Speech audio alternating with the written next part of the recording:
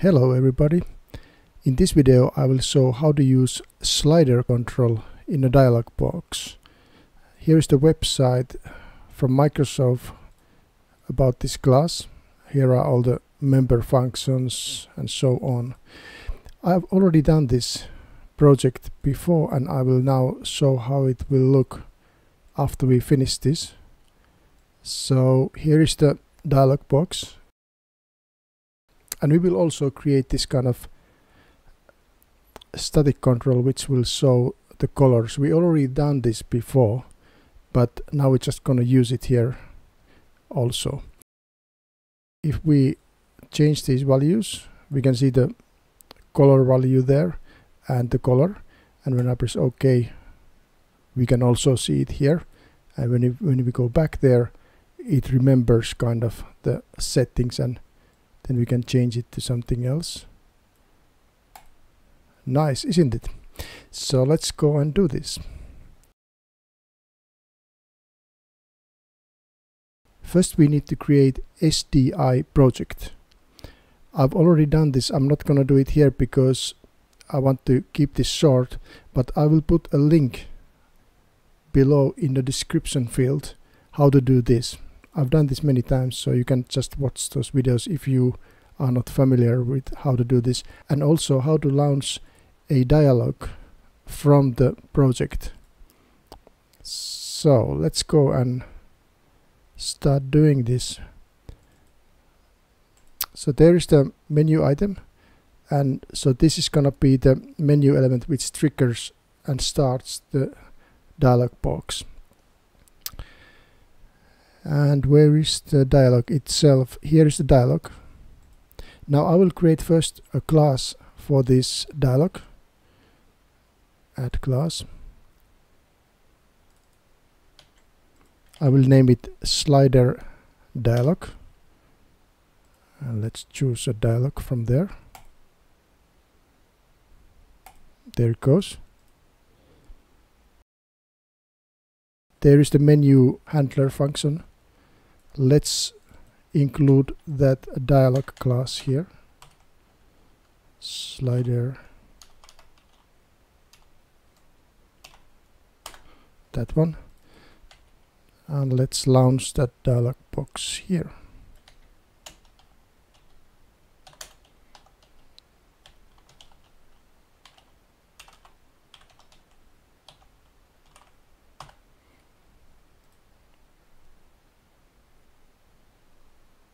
aha because I changed that the ID needs to be changed in this class. So I'll go and go here. Select the dialog. And let's have a nice ID for the dialog. So let's call it slider.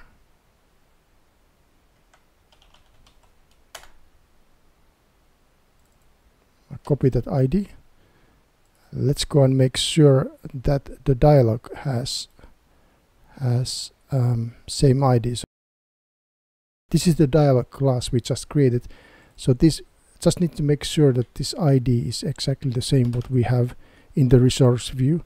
And let's go also and double check the CPP file and there also we need to have there. Yes, let's compile now and see if there are any other errors. Ah, there's one more thing. Now, this is good to know, by the way, that why, why we get this error. It can't see that the resource ID. This ID is, by the way, in the resource.h in this file. Let me show that. Before we go into this h file, we need to always close this rc file. This is a rc file, resource file. We need to close that, and now we can double click that one uh-huh. Okay. And uh, so let's go and see if this this is there. So here are all the IDs of all the controls. Uh-huh. It is there. So it is there. So we have that there. So we should be able to use it. So why now the question is that why why it's complaining? It's complaining because we haven't included the application h file. So I'm gonna include the application h file in this case the name is DLG lesson this one DLG lesson. That's the application file. All of these CPP files, they normally include that application file like here. For example, the view here. That's the way we do it here. So now it will see that and I will compile.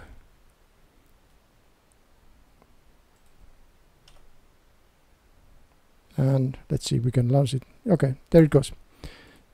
Let's go and start building up the slider slider dialog box. Now we will go there. Make it a little bit bigger.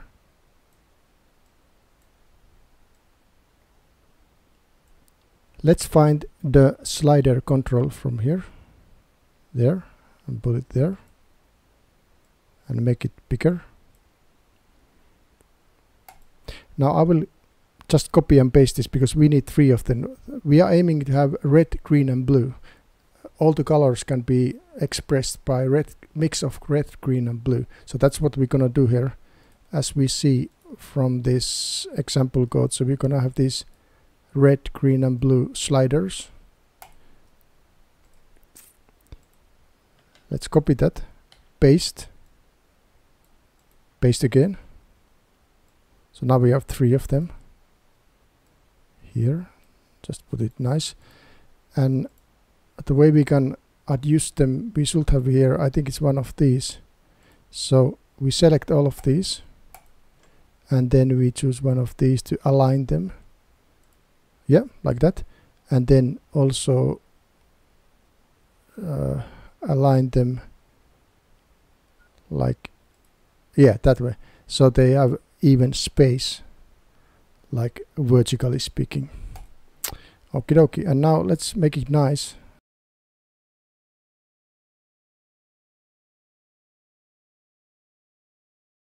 And uh, copy, paste, paste. And uh, again, let's align them by the left, like that looking pretty good. Let's move them a little bit. I'm using the arrow. Arrow to move a little bit down. And let's change that text. That will be red. Ouch. Caps lock on red. Red green blue isn't it? Red green RGB, red, green and blue. Those are the building blocks for the color. Now next thing we need to do here is that we need to create a control variable, a window variable for each of them. So we go here and then add variable and now it needs to be a control variable and um, I will call that slider red. That's the name I've chosen. Aha aha actually cancel because the ID is not nice looking. I don't like it's one slider one it should be slider red to be honest with you. I cancel and let's go here and change the change the IDs first. Always good to have nice names. This needs to be green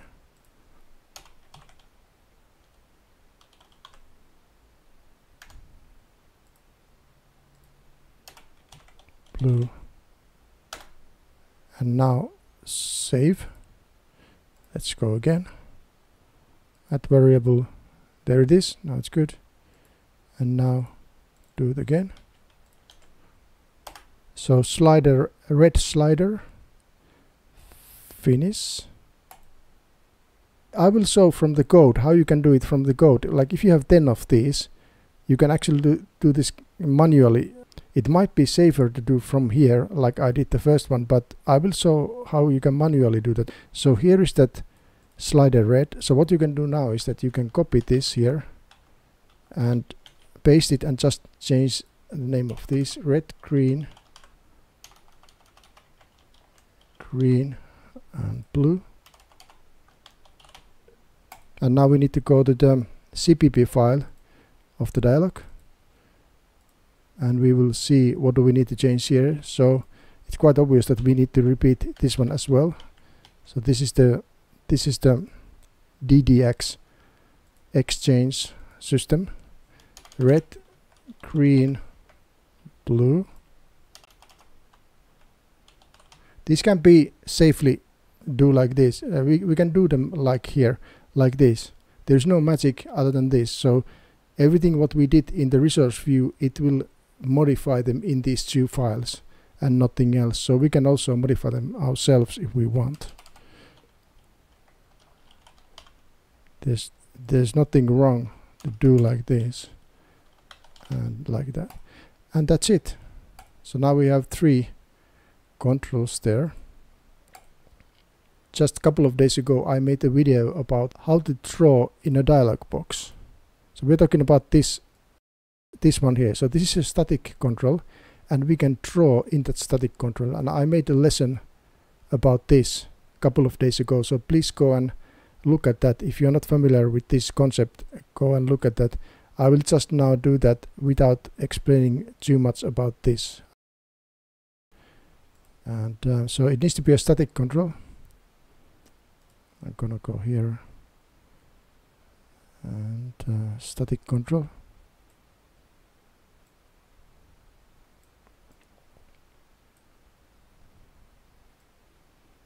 and then let's have a nice nice name. Just a color static color. Id is static color. Then we need to create um, control variable for this. Yeah.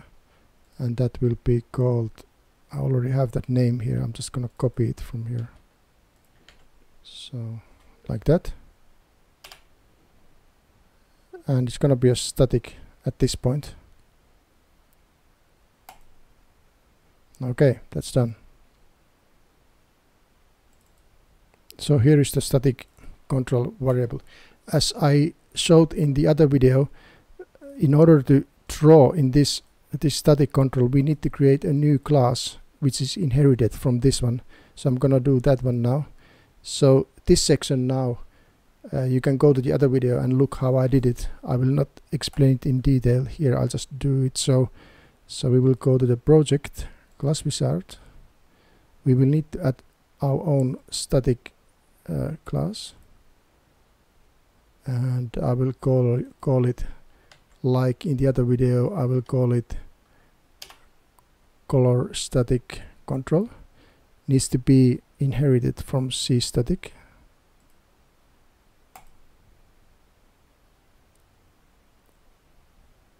And then okay. There it is so this is the this is this is the control class we're gonna use instead of static. And now I will replace that C static by that one and we need to include that header file.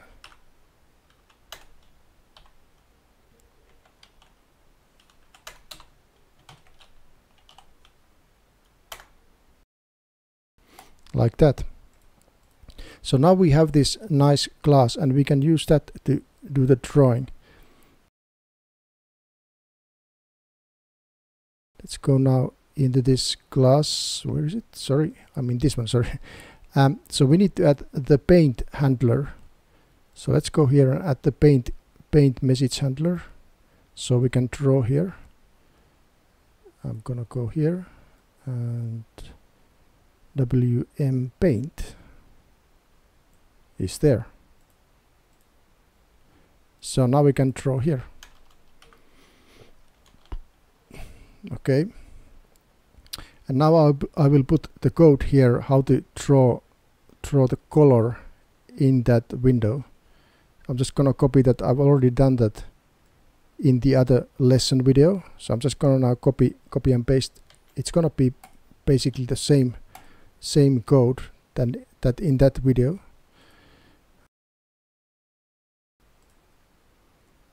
We will be having red, green and blue. So this class will store red, green and blue values and it will it will draw that color here. So we need to have red, green and blue. I will quickly create that here. int red, green, blue. and then we are using those here the code is almost the same as in the video but not exactly so. And here we just need to remove that one. So in this in this project we have just red green and blue here. Okay. So this is how we can draw that. So this section this is the section which draws that background color into that static control. And here is the text portion where we are drawing the, the color values here red green and blue. We are creating the string first. We are placing the, placing the red value there green value there and blue value there. And then we're gonna do the text out into the window in place 10 and 10 let's just test this um, for fun. I put a red I draw a red color there. So I put zero zero here and full red. So red is 255 and the other ones are zero that should be a red color. Let's see if that works. Okay hopefully it doesn't crash. Ah there it goes. Good start. It's working and also the text is correct. Now let's make this working such that when we are moving uh, this this uh, slider the redness should increase and decrease and we, we should see live the change there to do that we need to we need to handle the scroll scroll message for that slider and here's the website talking about it slider not notification messages this is a Microsoft website documentation. A slider control notifies its parent window. So what is the parent window in this case? Well, the parent of that slider is the dialog box. If we run this one, so this is the dialog box. So this is a child window of this dialog box. So the parent of this slider control is this dialog box. Okay, let's continue. A slider content notifies its parent window, which is the dialog box in our case, of user actions by sending the parent WM H scroll and uh, v v scroll. We have this one because we have we have horizontally those uh, sliders. Our sliders are horizontally placed, so we will only get this one. So let's create a message handler for this one so that we can handle that message when the slider slider is moved. How to do that? We will first select the the dialog box, which is this one. Then we go to the class view, and then we go and find that that message. WM hates something. W8 there it is HS scroll H scroll okay so here it comes when we are when we are sliding the control it, it, it goes here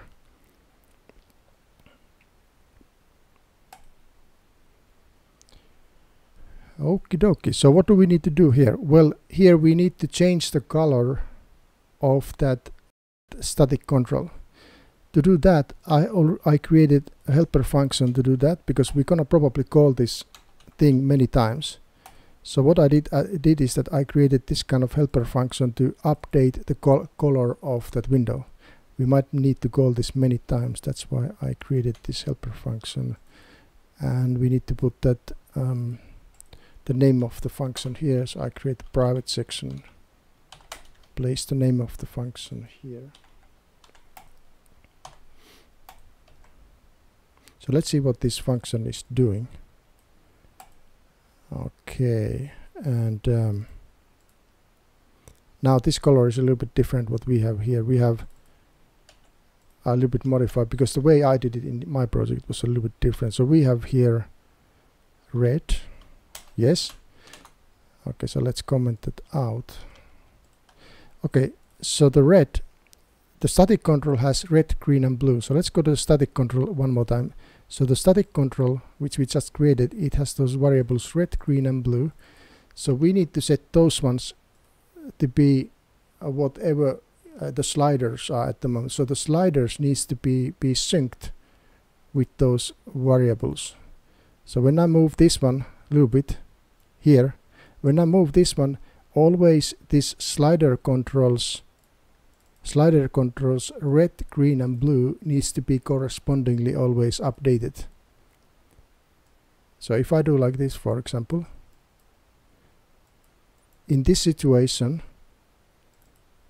this red should be 255 and 0 0 and if I move this one here now these values should be 255 255 and 0 so these values need to be updated live as we are moving the slider. That's the thing here. And when we are moving the slider we will go here and then we will update using this function. We will update that that static control. And the way we get that value from the slider there is a function called getPos. getPos. So we can call slider red getPos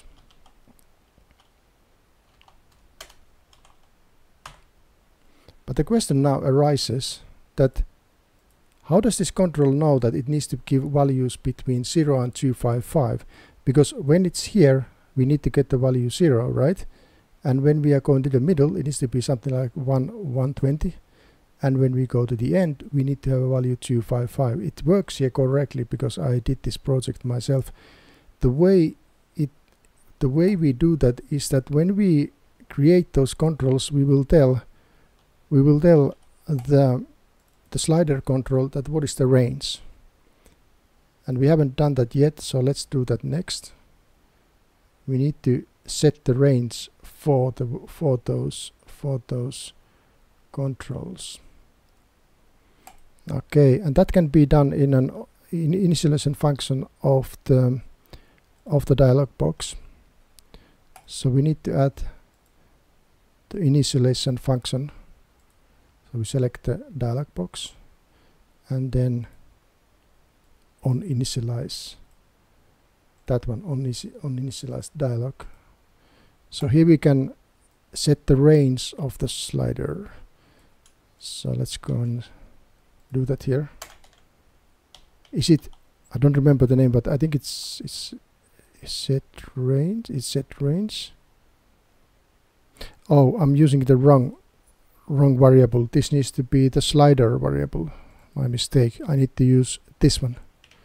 It's the red slider variable and now we have the set range. Set range. There it is. And this is going to be the minimum value of the slider when when it's on the left hand side so that we want zero there the color zero zero. And when the slider is at the right hand side we want to have 255 so that's the maximum value of the slider when it's on the right hand side. So let's now do the same thing for the other two. I double click and paste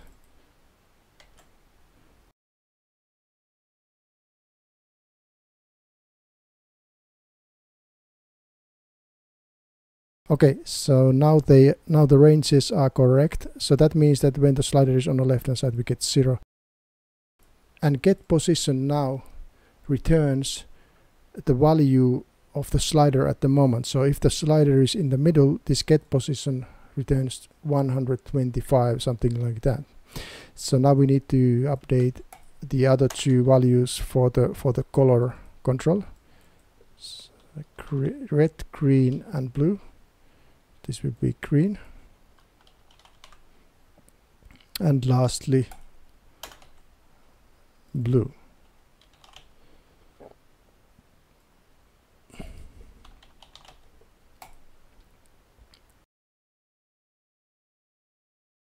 Obviously we are only changing the integer values of this of this um, this control. But the control doesn't know that it needs to needs to redraw that it needs to draw again that area. It it doesn't know that it needs to update the window.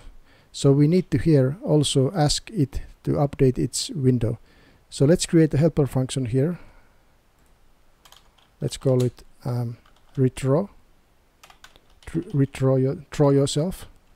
Kind of update yourself. Invalidate the whole whole uh, static control date. And then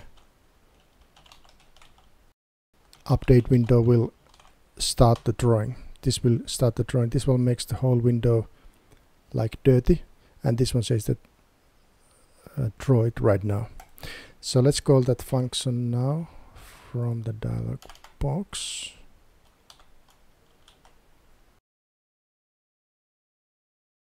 Oh one more thing one more thing I think is missing. When we launch the dialog box uh, the color of that window needs to be correct even when we are initializing. So we need to call that function also when we are initializing the initializing the dialog. And I forgot to put it here.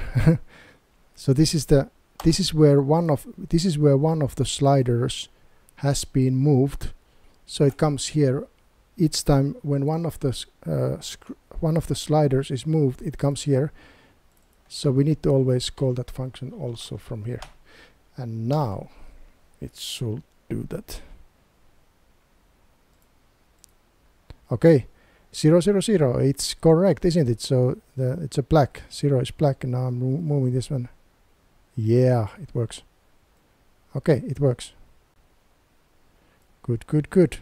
So now let's let's just finish this so that when we press OK, we will see that color here also.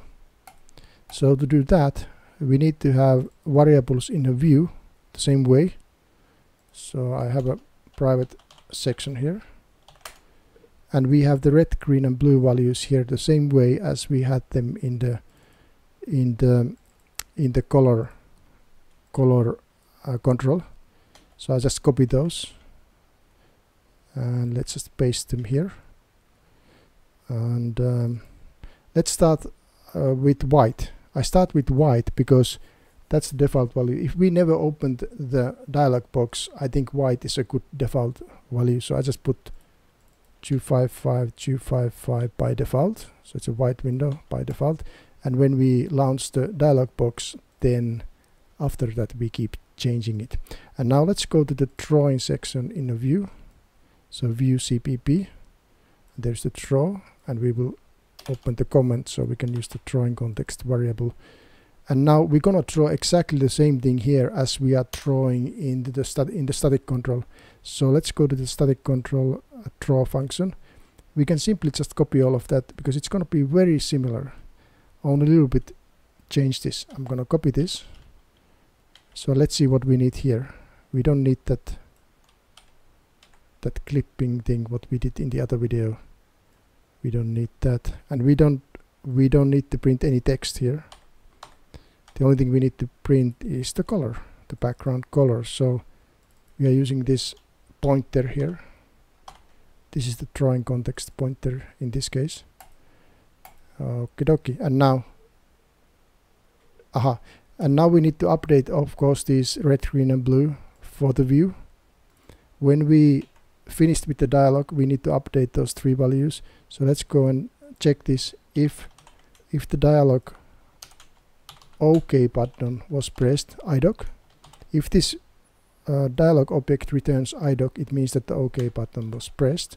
And in that case we're gonna update the the red green and blue values. I've already done it here so I'm gonna just copy copy that code. Save my energy so aha why does it not have the red green and blue? We go and check the dialog box. What do we have there? Slider slider dialog. Aha because we don't we didn't save that. Now what we need to do here here next is that when the dialog presses ok at that point the dialog needs to save the colors because I don't think we can use these controls anymore that the controls are probably deleted at that point. So I don't know if we can use the control variables to get the slider positions. So we will store them. When we press OK we will store those values into integers here as well. So we're gonna do one more one more time this same thing. I'm gonna go to this slider dialog and in a public section let's put those values there and now when we press OK button we need to store the slider control positions into those variables. So let's create a message handler for the OK button. So I select OK and I double click it. It will create the handler for the OK button in the dialog class. So here before we exit the dialog box, just before we exit we will ask the slider control um, positions just like this and um, and now we have those red green and blue values these ones in this uh, dialog class. So we want to store them there. Just red green and blue. Okay. So now they are stored into these variables. And now the view can ask these variables that what was the last position of all of those sliders so let's go back now to the view. So now this probably works. So let's run it now.